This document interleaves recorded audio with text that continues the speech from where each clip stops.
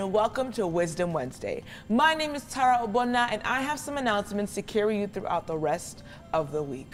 On February 17th at 7 p.m., we will be having our Yoruba service, Adura Agbayori, here at church or on Zoom.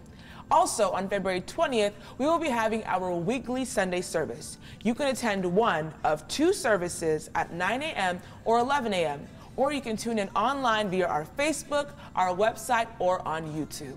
The GTC Youth Church will also be having service upstairs at 11 a.m.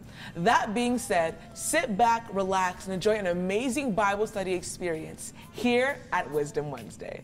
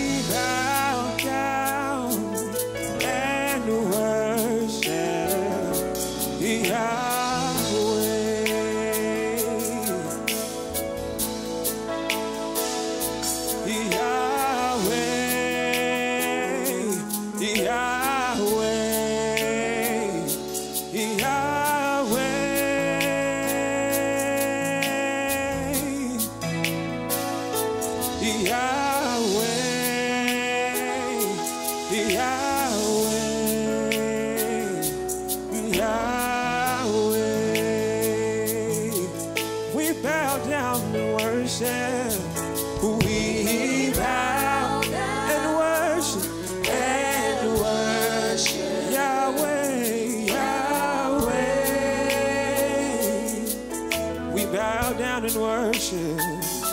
We bow and we worship. Call him Yahweh, Yahweh. We bow down before the King of Kings. We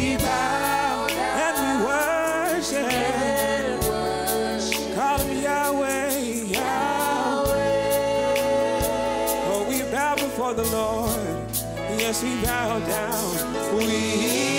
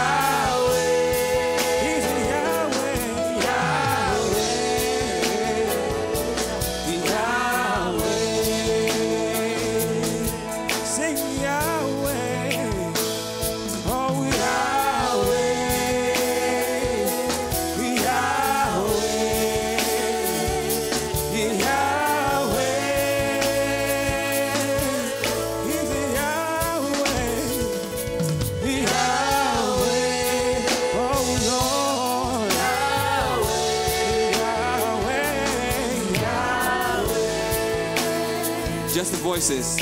Sing Yahweh.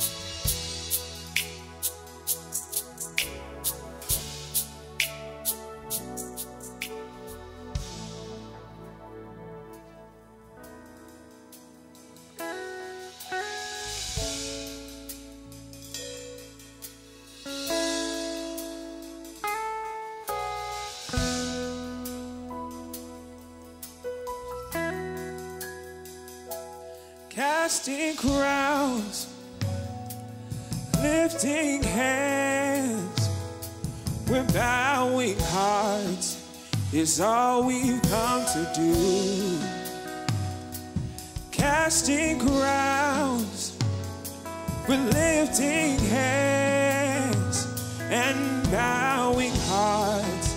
It's all we've come to do. See, casting crowns, casting crowns, we're lifting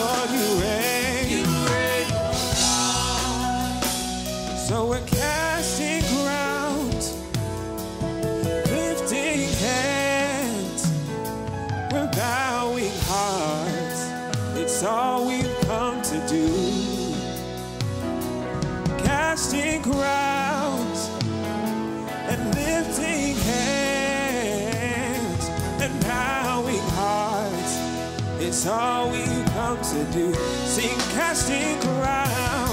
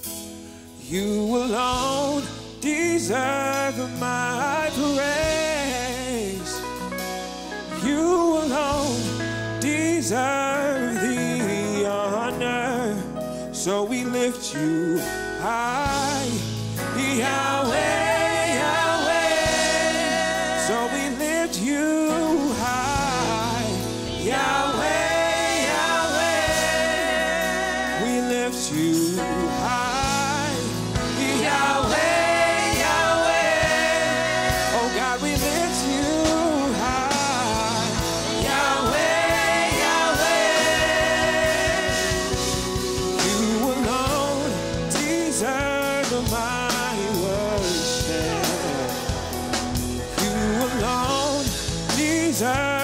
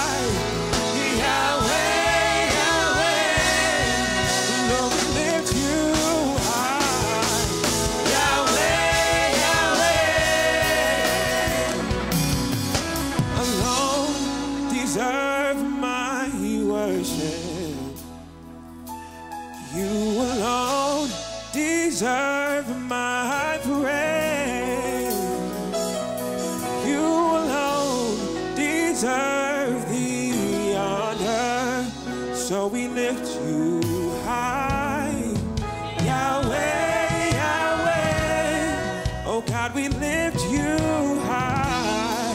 Yahweh, Yahweh. You are Adonai. Yahweh, Yahweh. And God, we lift you high.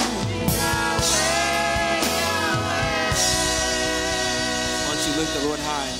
Bless the name of the Lord Jesus. Amen. Hallelujah. I welcome you today to our Wisdom Wednesday. And it's always a delight for us to be together looking into the wisdom of God and sharing the Word of God. We are continuing again in the book of Jonah, looking at God's wisdom for us, for my family, for your family, from the book of Jonah. But before we continue with that, let's first of all thank the Lord for a time of worship and a time of praise. Father, we are grateful. We always have the privilege of coming before you with our praise and with our worship. Thank you, Lord, as we have entered into your presence with thanksgiving. Enter into your court with praise. Lord, be glorified in the name of Jesus. Hallelujah. We are going to take a word of prayer from Lamentations chapter 3. Lamentations chapter 3, from verse 19. I'm reading it from Good News Translation. Lamentations chapter 3, from verse 19. The Word of God says, The thought of my pain, I don't know the pain you are going through, my hopelessness, I don't know the kind of hopelessness that you are experiencing, is bitter poison. Is bitter poison. I think of it constantly, and my spirit is depressed. I don't know the challenge you are going through that is depressing you. I don't know what you and your family you are always thinking about, always meditating about, instead of meditating on the Word of God, that is bringing depression to you. This is what lamentation is talking about. He said, Yet hope returns when I remember this one thing. And I pray for you this day that your hope will return in the name of Jesus. There will be restoration of hope in your family over that situation, over that matter in the name of Jesus. And verse 22 says, The Lord's unfailing love. What did he remember? What do I want you to remember today? It says, The Lord's unfailing love and mercy still continue. And I just want you to pray over yourself and your family. Lord, let your unfailing love continue. Let your mercy continue in my life. Your unfailing love, as it has been pronounced, it does not fail. Your mercy, Lord, let it continue. The word of God in verse 23 says, Fresh as the morning and sure as the sunrise. Pray for that kind of unfailing love right now, that the unfailing love of God, the unfailing love of Jesus Christ, will be fresh as the morning in your home, fresh as the morning in your family, fresh as the morning over all those situations, and that it will be as sure as the sun that rises. In other words, that love of Christ, that mercy of God will rise again in your family, rise again for you and I, in the name of Jesus. And in verse 24, it says, The Lord is all I have. And so in him I put my hope. I want you to talk to the Lord right now. You are all that I have. Heavenly Father, you are all that I have. And so in you, Lord, I put my hope. In you, Lord, I put my trust. Can you anchor that problem on God? Can you anchor that situation on Him? Can you genuinely put your trust in Him? Just talk to Him right now from your heart that, Lord, from this moment, you are all I have. I do not have plan B. I do not have plan C or D. You are all I have. You are all my plan. And in you, Lord, I put my hope and trust in the name of Jesus. And this is what the, Lord, the word of God says in verse 25. The Lord is good to everyone who trusts in him. And I pray for you and your family that the Lord will be good to you in this season. The Lord will show you his kindness. The Lord will visit you. You will hear God in that situation. God will manifest in that challenge in the name of Jesus. The Lord is good to everyone. The Lord will be good to everyone in your family. For as many as are hearing me right now, where, wherever you are, in whatever nation, whatever city you are located, the Lord will be good to you. And the Lord, whom you are putting your trust on right now, he will show you his kindness. In the name of Jesus. In verse 26, it says, So it is best for us to wait in patience, to wait for him to save us. And I pray that grace to wait for him, receive it in the name of Jesus.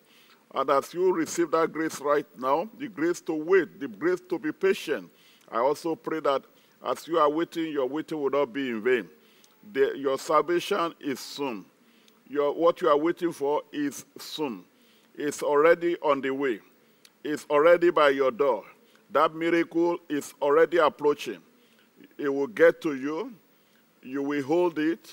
You will share the thanksgiving in the name of Jesus you will share the testimony in the name of Jesus. You will confess the goodness of the Lord, even over that situation. Can we say thank you, Jesus? Father, we give you glory and honor. In Jesus' name, we give thanks. Hallelujah. Once again, thank you for joining us on this Wisdom Wednesday. This is Household of Faith, Arlington, Texas. And we are looking at the book of Jonah. There is always the wisdom of God. So we are looking at the wisdom of God in the book of Jonah.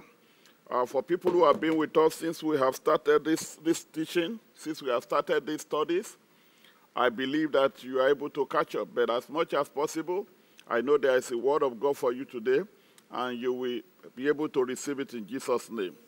We are reading Jonah chapter 1 from verses 7 to 12. Jonah chapter 1, 7 to 12.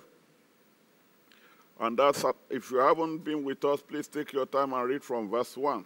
It says, The sailors, I'm reading Good News Translation, Good News Translation.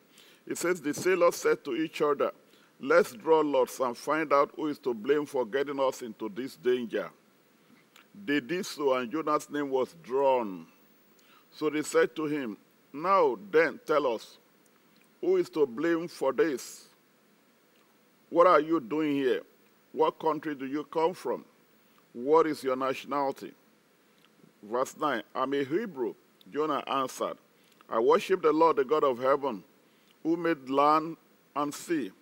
Jonah went on to tell them that he was running away from the Lord. The sailors were terrified and said to him, That was an awful thing to do. That was an awful thing to do. The storm was getting worse all the time.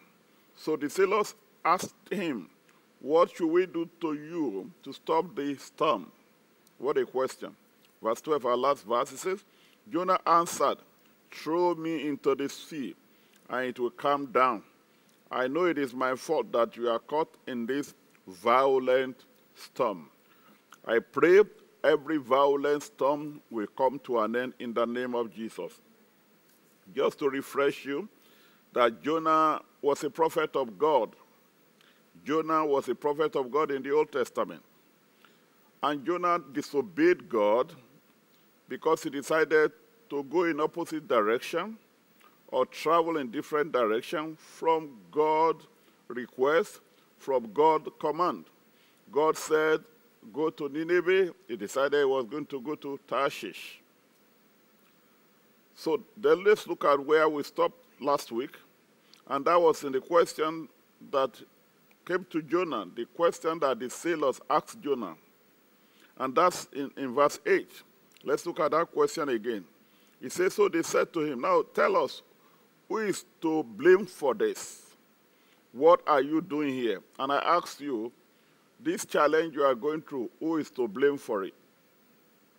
This situation in your family, who really is to blame for it? This problem you have been going through for so many years, who really is to blame for it? And he says, What are you doing here? And that may be another question to you. Really, what are you doing where you are? Is that where you are supposed to be? Is that what you are supposed to be doing? Is this the call of God upon your life? Is this what God is asking you to do at this time? So I don't know what that question means to you. What are you doing here? The next one is what country do you come from? In other words, really, what's your foundation, what's your origin? And he said, what's your nationality? I know my nationality is heaven. My nationality is from Jesus Christ. So this is a, a, situation of identity. Who really are you? And the who really are you here is who are you in Christ? Even when you are in crisis, you have to be able to answer this question. Who really are you in Christ? Even when you are in crisis. Your identity must not be in doubt. Thank the Lord that even Jonah in his challenge, in his disobedience, he was still bold enough to say, yes, this is who I am. And that was when he began to answer their question. And that was in verse 9. He, he didn't waste time to tell them who he was. But I want you to know that it's very important you hold on to your identity no matter what the situation may be. Don't ever deny your God. Don't ever turn your back against God, no matter what is going on in your life. Even at that instance, Jonah didn't deny who he was. I encourage you, whatever you are going through, wherever you are walking, don't blend in, don't compromise, don't give in, don't get so discouraged that you begin to deny God. Hallelujah. Then we want to look at it again, and that's the response of Jonah. In verse 9, Jonah said, I am a Hebrew. Jonah answered, I worship the Lord. Praise God for that. I want to ask you, are you still worshiping the Lord? When last did you worship God? When last did you call on the name of the Lord? When last did you join the other believers in worship? When last have you been in the midst of congregation giving praise to God? He says, I am a Hebrew. I worship the Lord, the God of heaven. Hallelujah. Who made land and sea. Can you imagine Jonah even inside that ship that was violently being blown by the wind? He still confessed that it's God made the land, even the sea. Do you know that no matter what you are going through, God is still in charge. God is still in control. If you are living on land and not hanging, God still made the land. Even when you think you are hanging, God still made everything. The wind that blows, the air that you enjoy. Jonah, even in the sea that he was having challenge, he said God has ownership. And I want you to know that God is in control of your life. It's in control of whatever is going on in your life. The Bible says Jonah went on to tell them that he was running away from the Lord. But I want you to understand that Jonah's answer and response is very important, and that is the way your response is also important to God. As you begin to see when, the, when we go into this teaching more, you'll be wondering how could God bring such a salvation to a man who disobeyed him? But if you hear his word here, he never denied who God was. He never denied his identity. And I can tell you, as long as you hold on to your identity in Christ, in spite of the crisis, your salvation will come. Your deliverance will come without any shadow of doubt. You know, he clearly told them, I worship the Lord. That's who I am. Don't, don't, don't, don't, don't just think that I'm just anybody. Regardless of what is going on here, I'm still a servant of God. I'm still a prophet. That was exactly what he was saying. Your situation does not define you. Your circumstances do not reclassify you. Whatever you are going through does not change your name that is written in the book of life. Don't ever forget that, that what you, the moment, this moment does not change who you are to God, does not change your relationship with God. It must not. Don't allow it to take, change your relationship with God. Hallelujah.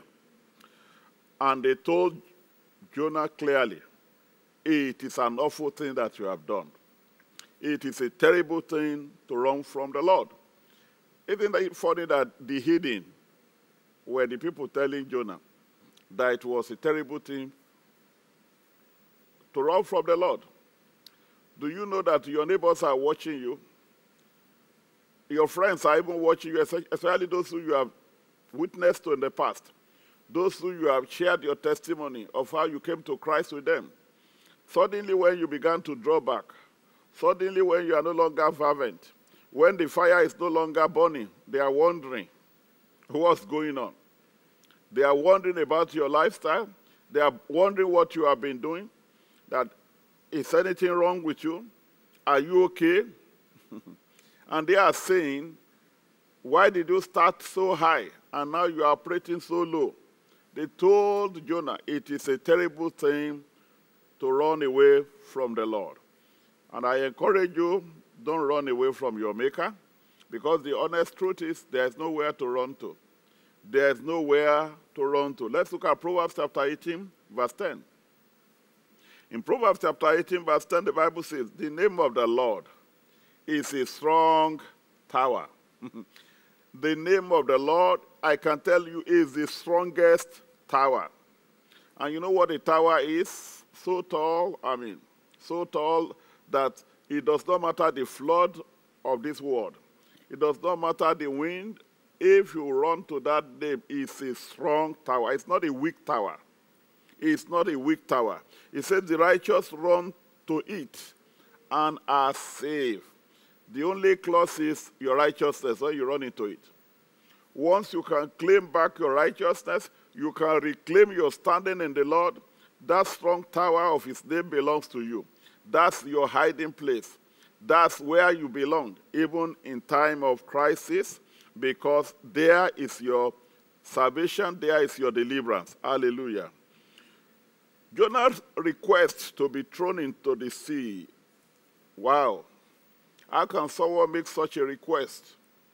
Throw me into the sea. If you can do that, I think your, the problem in this ship should be over. Hmm. I want you to know clearly that that was Satan speaking to Jonah. That was Satan speaking to Jonah. In Luke chapter 22, verse 3, In Luke chapter 22, verse 3, the Bible says, Then Satan entered Judas' son Iscariot, who was number among the twelve. The Bible says Satan entered into Judas. I want you to know that Satan has entered into this story already with, jo- with Jonah. And the only suggestions he brought to Jonah is tell them to throw you into the sea. Tell them to throw you into the sea. I want you to know that Satan is a betrayer and always suggests hopelessness to sinners. Please hold on to that. Whenever you disobey God, the suggestion of Satan to you will be hopelessness. He will tell you there is, it's finished. He will tell you you are finished. He will tell you there is no way out. Satan will tell you, say yourself you are in a box. So Satan will tell you, why are you still worshiping God? Why don't you kill yourself? Why don't you commit suicide? Why don't you die? It will tell you all sort of things, so many things that the devil will tell you. That's because it's a betrayer, and he will capitalize your, your hopelessness. And that's why we started this, this, this teaching this afternoon, this evening, by telling you do not be hopeless. Do not be hopeless. Hallelujah. Hallelujah. I want us to read uh, a scripture in Matthew 27 from verses 3 to 5. Matthew 27 from verses 3 to 5. Uh, Matthew 27 verses 3 to 5. I'm reading this one from uh, a contemporary English version, uh, very sweet Bible. It says, Matthew 27 3 to 5 says, Judas had betrayed Jesus, but when he learned that Jesus had been sentenced to death, he was sorry for what he had done. I want you to follow carefully. He returned the 30 silver coins to the chief priest and leaders and said, I have sinned by betraying a man who has never done anything wrong. Hear what he said.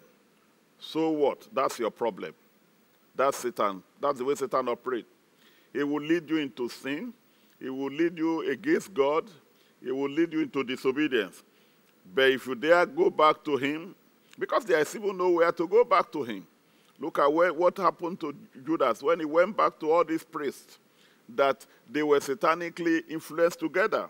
It's, they told him, So what? That's your problem. Have you ever gone into uh, unusual relationship?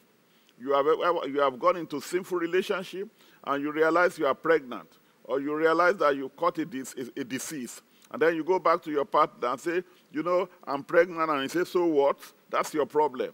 So what? I don't know anything about it. He says, so what? That's your problem, they reply. And the Bible says Judas threw the money into the temple. And look at the hopelessness. Look at what Satan has said to him. Then went out and hung himself. So Satan told Judas, What are you waiting for? Go and kill yourself. Go and hang. people like you should not live again. And that's what Satan do minister to people. That's why we see a lot of suicide going on. Because the devil has said there is no hope again suggestion of hopelessness. It is Satan's gimmick. And don't give in to it. I don't know who is hearing me right now, that you are hearing that voice. Go and commit suicide. Go and injure yourself. Go and take that pill and swallow it. This message is coming to you at this time for you to understand that Satan is a betrayer and is the one who will always suggest hopelessness. You have hope even against hope. The Bible says Abraham had hope. Against every hope, Abraham had hope, and God visited him. Even against your hope today, against all hope in your life today, the Lord will visit you in the name of Jesus. Now I want to go to one something that is very important that is about the, the key of our discussion this evening. That is self-guilt self guilt. There is no doubt that we should read this scripture very well for Jonah to suggest to the sailors that they should throw him into the sea. It was because he had put judgment on himself. He has judged himself to be guilty. And self guilt is all over the place, especially among believers, those who are saved, those who have given their life to Jesus Christ. And what is self guilt? It is when you put the guilt on yourself. I'm going further. It's taking responsibility for offense and allowing. There's not listen very well. Don't get, uh, don't get, don't misunderstand me. Yes, it's, it's good for you to take responsibility. It is good to say yes, I did it. It is good to say I went wrong. You know, I shouldn't have done it. But when it comes to self guilt, it does not stop there. It will now allow you to have a negative impression about yourself. It has negative impact on you. You just realize that you, there's a, a, a broken relationship. The devil will tell you, didn't I tell you it was this relationship was going to break because it's your fault, because you didn't do this, because you didn't do that. I, can I say to someone listening to me wherever you are right now, God is reordering your steps. God is redirecting your footsteps. You know, don't, don't, don't, don't just cast that guilt on yourself and let it weigh you down. And, and, and let's, let's go further. When you, are, when you have self guilt, what you do is you, you begin to put yourself down on purpose. You begin to relegate your person. You begin to devalue yourself because you think you have done everything wrong. And this is what leads to depression. Oh, I wish I have done more than that for my children. That's why this, that's why this, this, these children are not doing well. That's why they are failing in college. That's why my daughter got pregnant. That's why my son is now taking drug. That's what you and you begin to say, oh, maybe if I had not been working, uh, maybe if I didn't work two jobs, then it wouldn't happen like that. Maybe if I didn't send them to uh, out of state, maybe they will have been good children. No, no, no, no, no, no, no. Yes, maybe, maybe, maybe but don't let it impact negativity on you, on your family. I decree right now that situation, the Lord is going to reroute it. That circumstance that you think that you are making you to blame yourself, are making you to, to, to admit self-guilt and begin to think about yourself negatively. The Lord is going to turn it around in the name of Jesus. So before you know it, when you have self-guilt, it can lead to depression you know, you, depressive thoughts begin to come to your mind, you know, because you think you are guilty and there is nothing good about you. It takes you to not have low mood. Suddenly, you are no longer talking to anybody again. You are no longer smiling. You have lost your joy, and the devil is saying, "Wow, I, am getting him. I, am I'm, you know, the, the, Satan, he does not have any other ministry to steal, to kill, and to destroy. So before you know him, you, are, you now become an antisocial. You don't want to go anywhere you are locking yourself inside the room. Some people now, the reason that they are not coming out to, to, to worship God, even though you call them, they'll tell you, oh, is this coronavirus? No, it's not coronavirus. It ain't coronavirus. What happened right now is you have put self-guilt on yourself, and you need to come out of it. You need to get out of it and let God do what he wants to do in your life. Hallelujah. So you begin to, before you know it, you know, your personality has changed. Nobody even know who you are again. Nobody know where you are. Nobody even know what you are doing. You are no longer committed to anything. You are no longer accountable to any, anybody. You begin to isolate yourself. Why? Because you have self-guilt. Keeping to yourself might be because you have self-guilt. Overreacting to situation. You blow up on little minor things you just you become violent unnecessarily. And like I said, it leads to suicide if you do not manage self-guilt very well. And I want you to know this today. Self-guilt is the devil in your mind. Don't forget this. Self-guilt is the devil that has taken over your mind. And I want you to let the devil go. Release him from your mind right now and I break that, that, hold of the devil in your mind in the name of Jesus. I command the devil to, to, to, to take his hand, to take his package, to take his, his property out of your mind in the name of Jesus. Don't ever forget that Satan steals. He steals joy. He steals the goodness of God that he has put there if you don't manage it very well. Don't allow self guilt to dominate you.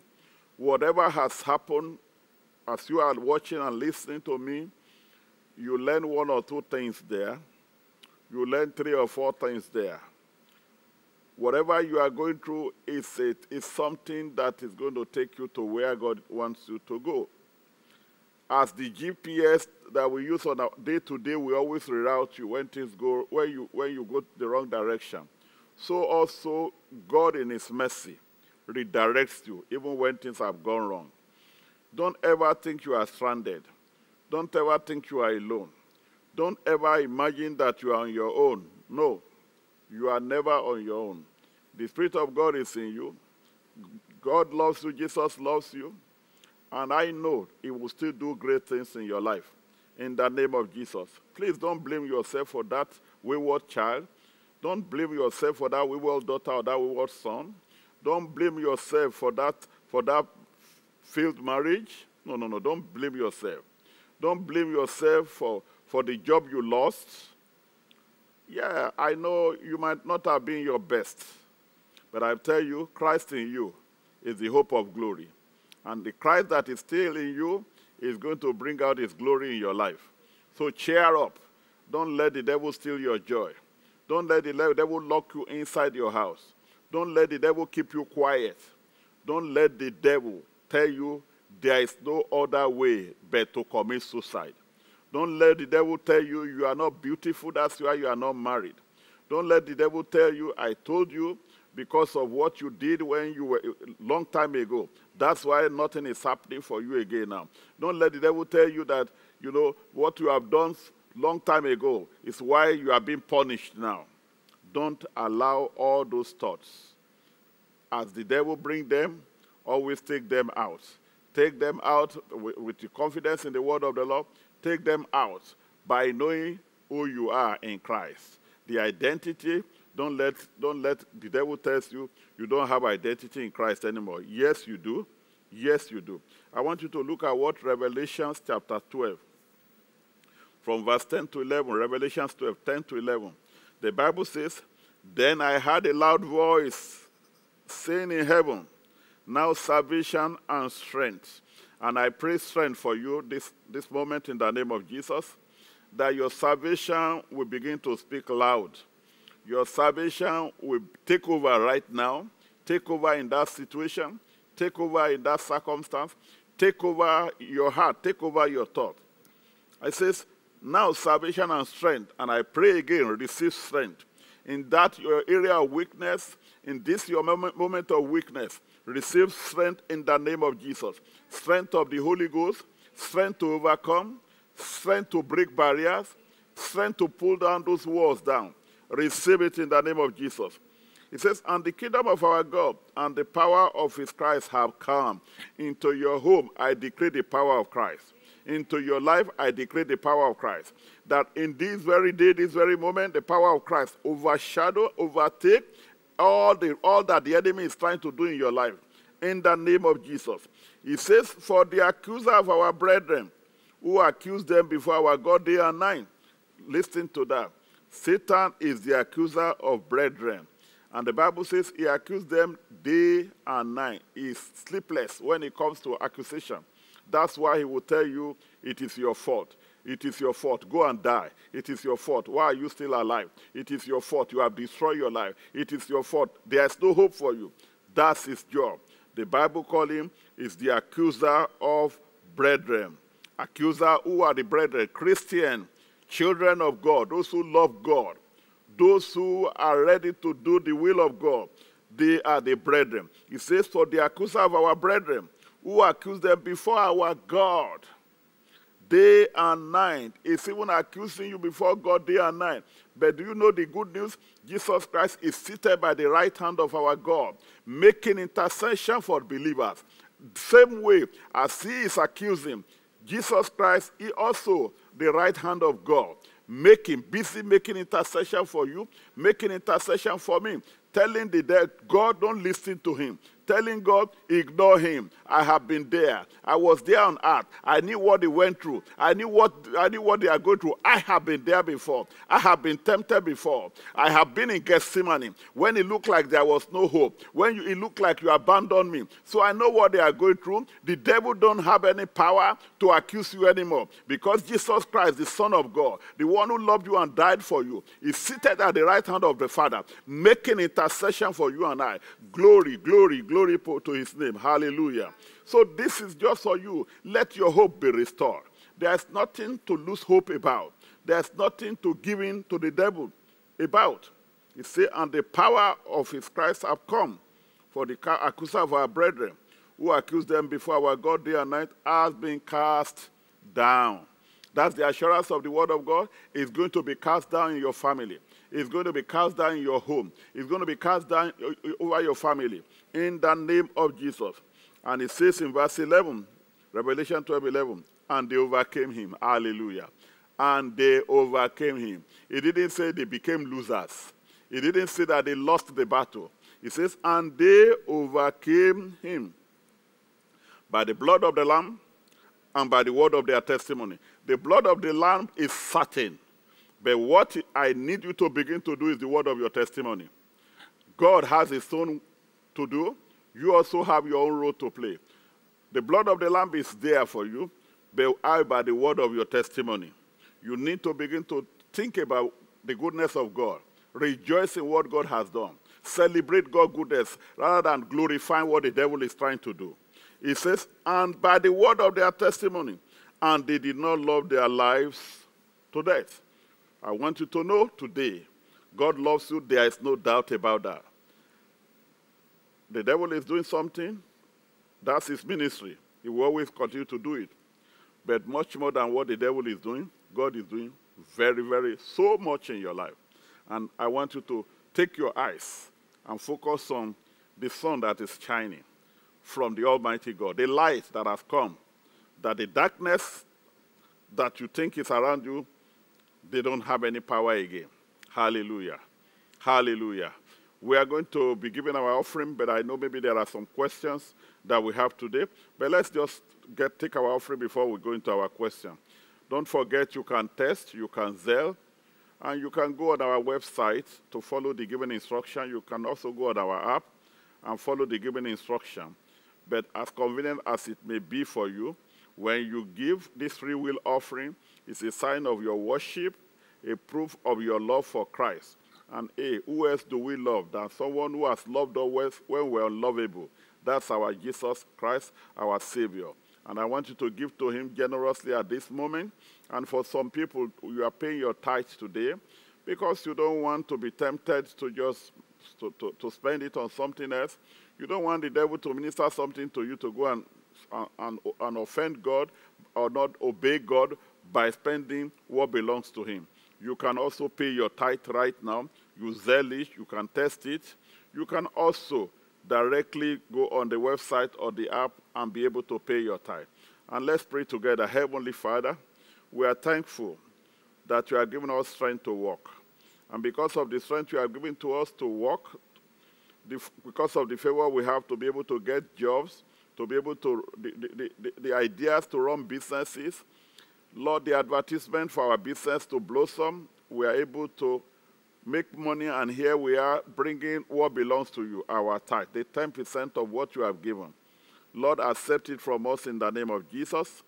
Let it come before you. And as we give our tithe, we ask, O oh Lord, that you remember your covenant concerning tithing and let it be established in our life in the name of Jesus.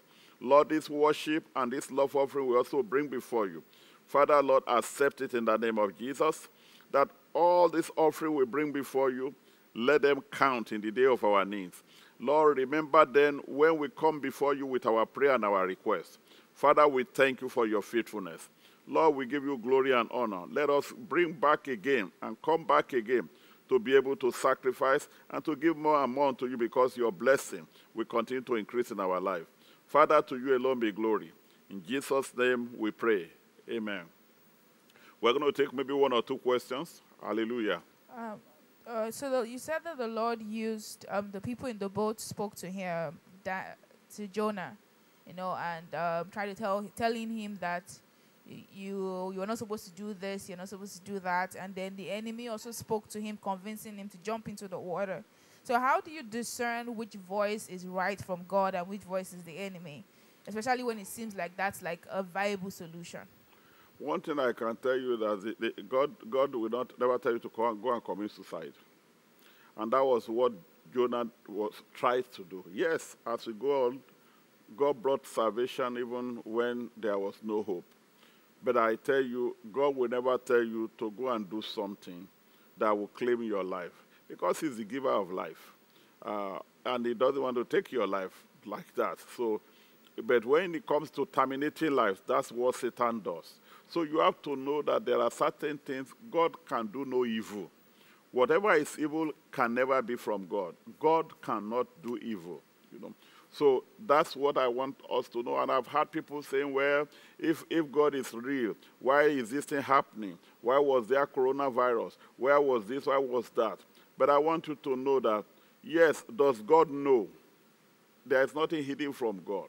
But is it from God? No. And this is where believers can always get their rescue because God does not do evil. So when, if as a believer you are sure you, and you know the God you are serving, even when there are evil all over the nations, you can tell God, exempt me. This is not from you.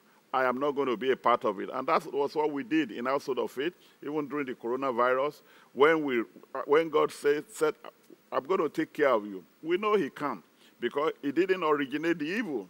Did, did He know about it? Yes. But He's expecting His children to be able to know their identity in Christ, even in time of crisis, and be able to call upon Him so that He can give them salvation. Don't forget that this is the world. Satan is the, is the, is the king of the world. But it's still, in spite of that, God is still bringing salvation. That's why God, Jesus died for us, so that we can be able to get out of the grip of the enemy, and so that we can have boldness and confidence to be able to ask God for anything. Hallelujah. if you have a spouse or parent that always talk down on you, how do you, you know, causing you to have a lot of self guilt? How do you get out of it, and how do you also let them know that this is what they are doing to you? Yes, you, you, you, you almost answer the questions yourself because if your parents are talking to you that way, maybe they are not even believers. Maybe they don't know the, the essence of what they are doing. I believe that you can educate them. Uh, if they are Christians, because I mean, some people are so Christians, but they don't get into the Word of God to know what they can do and what they cannot do. In other words, they can be your parents and still be baby Christians. So, uh, adulthood in Christianity is not about age. So, you have to be able to sit them down, and that's when it is very easy, when they are Christians. So, you can really share the Word of God with them and say, This is what the Word of God says. So, anytime you are doing this, you are working against the Word of God. I'm sure they will be afraid and say, Whoa, we didn't know. Even when they are not Christians, I believe that you can also say, I want you to, I want to read something to you. It's in the Bible. And you read them, read it to them, and you give them understanding. Let them have knowledge that what they are doing is wrong, that you don't want them to put guilt on you. Even having said that, you, you can only control yourself. You, can, you cannot control what other people will do. Even when they decide that, hey, I don't want to hear that, take your Bible away. Do you think you now know Bible more than we know? You can put all those words aside. But the Word of God is assuring you here, you know, that uh, uh, you are a child of God. Nobody can unmake you. It's only God who has made you. So uh, your salvation comes from the Lord. So you have to know who you are. And once you know who you are, it does not matter what, what name people give to you. Just set them aside because you know you are in Christ. So uh, you don't, don't depend on people to make to, to, to, to, to actually celebrate who you are, but you have the, the, the you, you have the responsibility to keep on celebrating who you are, including your salvation. Hallelujah. Hallelujah. I hope you have been blessed today by God's grace, and we hope to see you next week again when we continue with our godly wisdom from the book of Jonah. And I pray for you that the Lord God will resident in your heart by the power of the Holy Spirit. The Spirit of God will direct your path, And whatever voice of the enemy coming to you at this time, uh, we ask that the Lord will silence them in the name of Jesus. You will hear the, cause, the, the voice of God clear and loud in the name of Jesus. That grace to discern who is speaking, I pray that the Lord will give it to you in the name of Jesus. God bless you. Uh, have a wonderful, wonderful evening. Hallelujah.